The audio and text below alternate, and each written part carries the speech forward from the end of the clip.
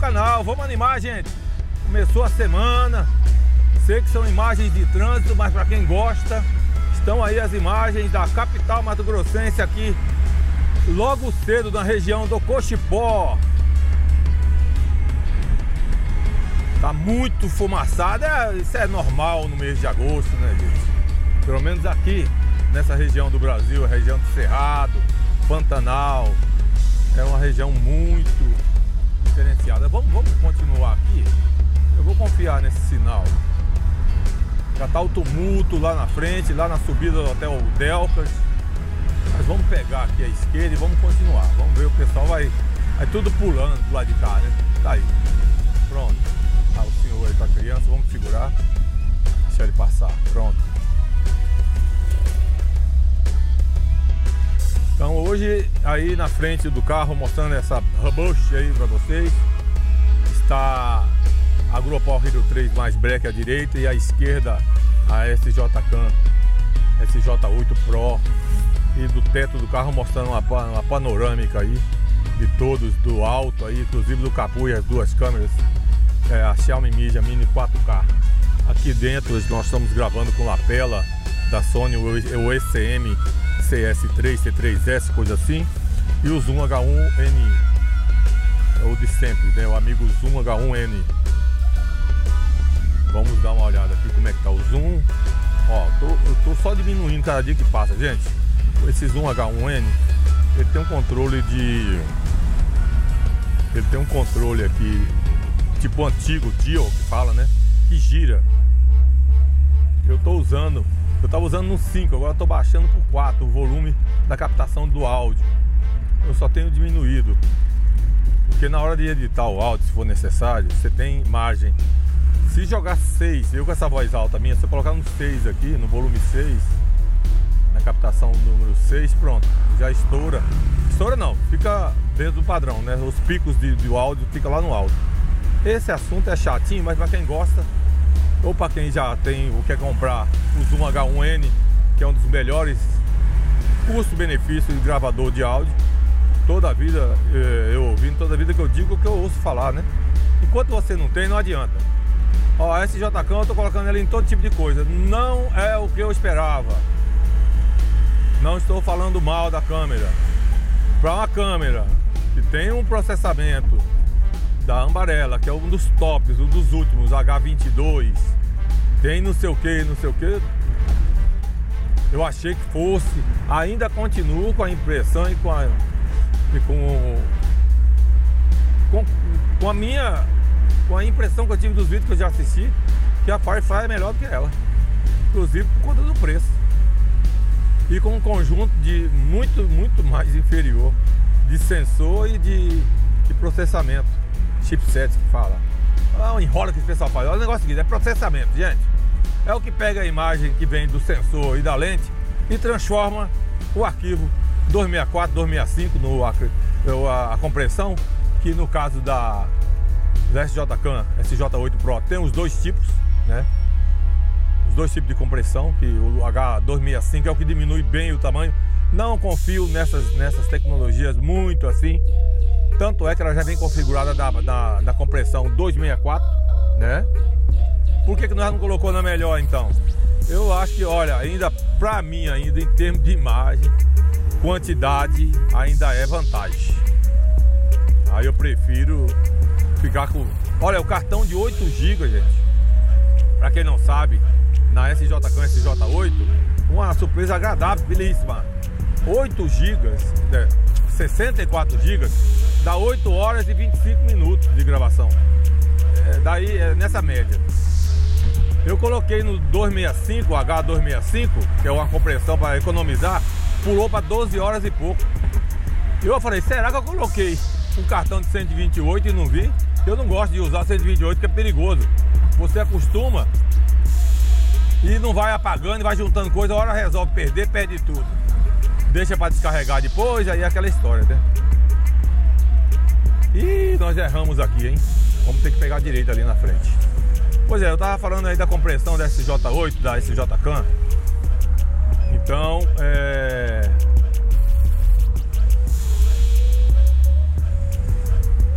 não uso a compressão máxima porque eu não confio. Não adianta falar, fala que eu sou grosso. Rapaz, o que, que eu quero mais? Ela já dá a metade, ela já dá metade dos arquivos é, criados pela Firefly, usando 264. Ah, agora todo mundo resolveu entrar para a direita. Um empurro, empurro, o ônibus vai meter o bico no meio. É agora a hora da verdade. É agora todo mundo caindo aqui.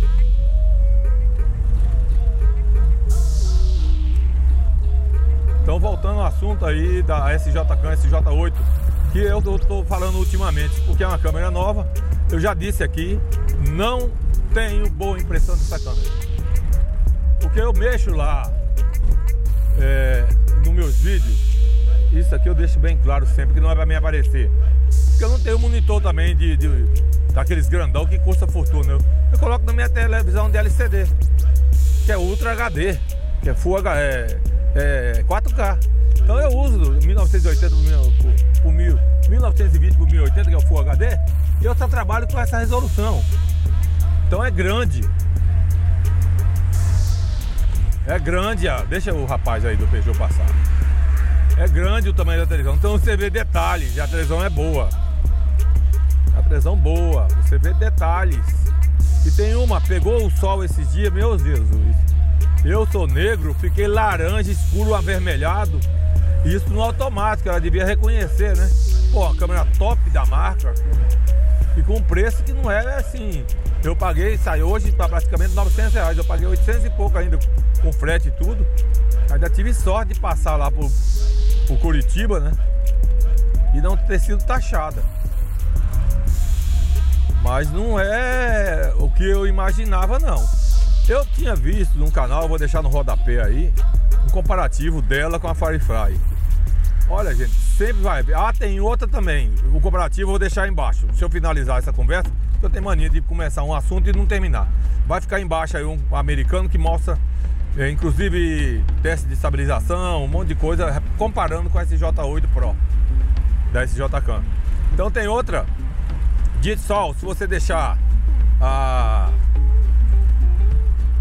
a exposição no zero, que ela devia trabalhar certinho, ela estoura no centro. As partes brancas estoura mesmo.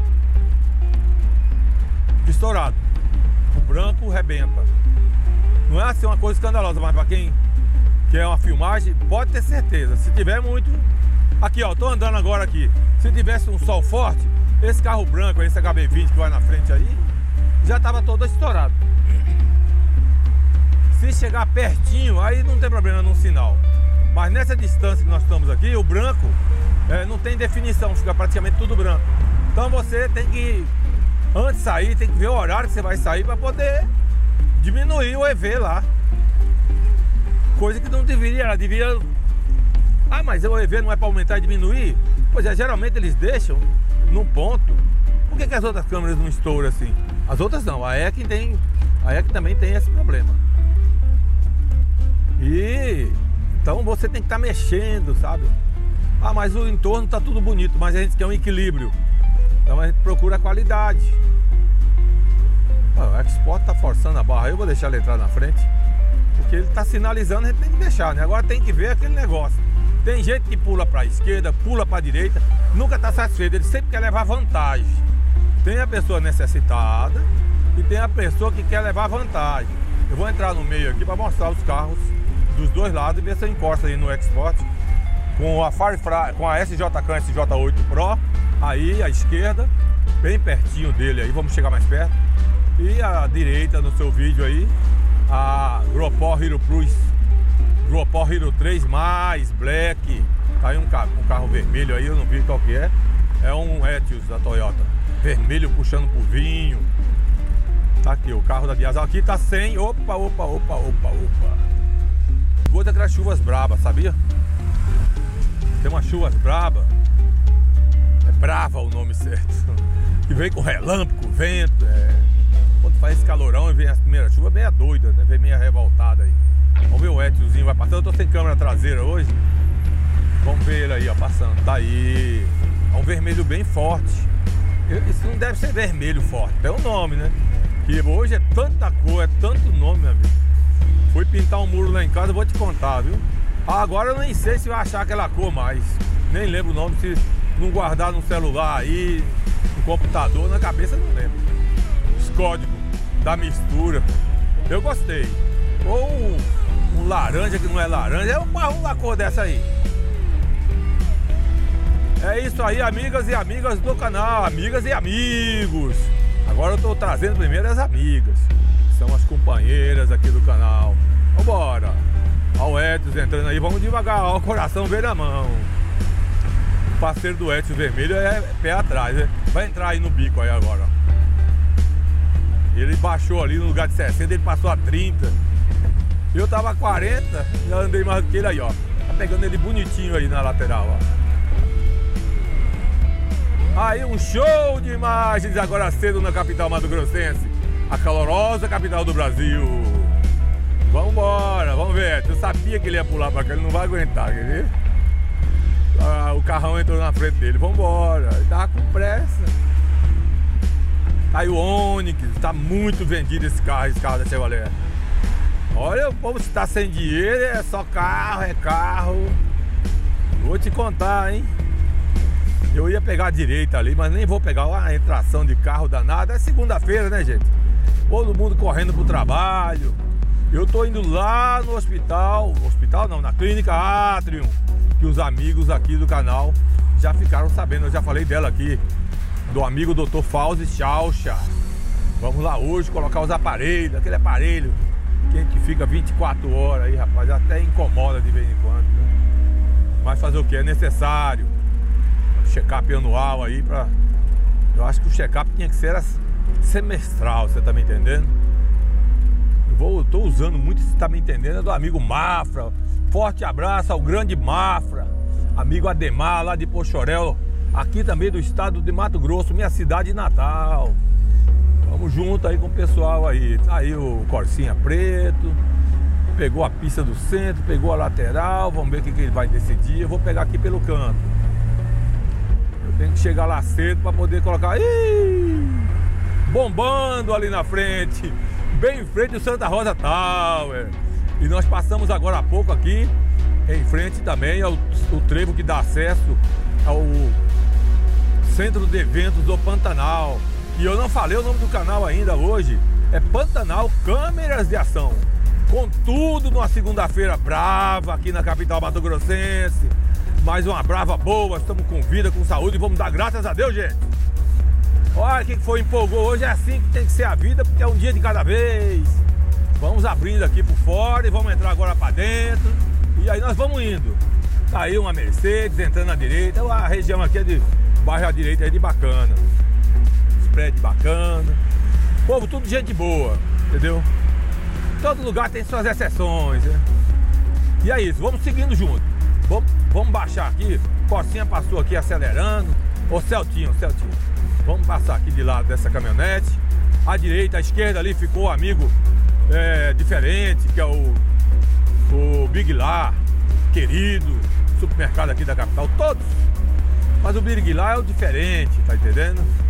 São só três lojas, uma em Vaja Grande, que eu saiba, e duas em Cuiabá. O rapaz aqui do Celta animou e papapá, agora parece que desistiu pegou a pista da, da esquerda que, é, que é, geralmente quem anda da esquerda é para andar mais, não para correr, mas é usado para ultrapassagem, para desempatar. Quem anda na direita é ônibus, caminhão, que quer andar devagar. Aí o cara pega a pista aqui e deixa todo mundo lá. Mas é isso aí, são coisas do trânsito. Mas eu tô aqui curtindo pra vocês, tá vendo? Curtindo esse estresse. Pena que já foi rápido, já estamos chegando. Olha aí, ó. Olha aí o, o grande shopping, o novo shopping de Cuiabá, à direita aí. Deixa eu ver o nome que eu sempre esqueço, né? Tem a ver com Cuiabá. É Shopping Estação Cuiabá. Aí, Shopping Estação Cuiabá, enorme. Olha que tá de parabéns a capital Mato Grossense e todos os lojistas que fazem parte desse grande shopping aqui da capital. Aqui à direita entra para o Flamboyant, onde eu morava entra por Santa Malha, Santa Isabel, aqui à direita é o Circo Militar né? As quadras de tênis, de voleibol, de areia, de futebol, piscinas. Olha, um, um clube aqui tradicional da capital. Hoje eu tô falante, hein? Hoje eu tô com tudo. Nós já estamos chegando aqui no trevo, que eu, eu domino, né? O trevo do, da Vila Militar, do, do Circo Militar. Que é esse trevo aqui à frente, que agora vai ter sinalização, ó. Aqui era só na base da preferência. E funcionava e funciona muito bem, hein? Eu não sei não, depende do tipo de sinalização, mas engenheiro sabe o que está fazendo. Eles não dão, tomam decisões é, para que prejudique o trânsito. Né? A gente espera. Teve situações aqui que colocou o semáforo, o trem pegou, o trem tumultuou, tá aí o parceiro. A gente é bom andar meio devagar de vez em quando, para ceder pros amigos e amigas aqui do Cuiabá e do canal. Nós estamos na região aqui, Avenida das Flores. Aqui é um pool de empresas de saúde, aqui de laboratórios, consultórios. O grande hospital Jardim Cuiabá, que não é bairro do hospital, é centro. Como é que é? Vamos ver o nome lá. Tem um nome agora que é Centro Médico, né? Hospitalar. Cuiabá, tá aí, é isso mesmo. Complexo Hospitalar de Cuiabá. Tá aí à direita, vocês estão vendo aí com as câmeras. Eu não sei como é que estão as câmeras, estão as câmeras. Com esse tempo cinzento, elas devem compensar e devem jogar lá para cima a exposição. Ah, mas você falou que tem zero automaticamente. Câmera quando não tem luz, ela melhora. Pelo menos a Firefly faz isso, principalmente quando dá noite. Aí a farmácia Unimed, mais uma vez, esqueci, porque fica nesse, nessa esquina, a gente fica preocupado em chegar aí entrando, né? Vamos chegar cedo à Clínica Átrio. Aqui é o Jardim Cuiabá. Bairro é, classe média também aqui de Cuiabá. Tem gente que não gosta que fala que é classe média, né? Tem gente que se considera classe alta. Mas assim, já tem gente que nem nenhuma das duas é e quer ser. É. Né, você tá falando do povo, mas vocês devem conhecer, né? Sempre tem de tudo nesse mundo. O canal aqui não tem discriminação não, mas a gente tá falando, não? Aí, estamos chegando aqui na clínica Átrio do amigo Fauzi Chaucha. Amigo não, doutor Fauzi Chaucha. Doutor Bey Bey Advocacia. Eu vou ver esse nome direito aí pra colocar aí no rodapé pra vocês. Ah, hoje nós vamos pegar aqui a preferência, né? Eu queria até mostrar a fachada da clínica Átrio. Mas se eu for mostrar, eu vou perder a minha vaga. Olha, amigos e amigas do canal, nós estamos dando uma resinha. Vamos parar no lugar para complicar, caso o malandro queira mexer na nossa Santana. Minha esposa sempre faz uma avaliação comigo. Quem é que vai querer mexer nesse carro velho? Sei lá. Tem doido pra toda coisa nesse mundo, não, gente? Vai que o cara é com o Santana, não? E a Santana não tá de jogar fora, não. Anda do mesmo jeito. E tem uma, o mais importante. Compra e paga. Tá bom? É, o assunto passou a secar agora. Ó, vamos finalizar com a buzina. Pronto. Essa buzina, gente, é para sincronizar o áudio aqui da, de dentro do carro, o áudio gravado com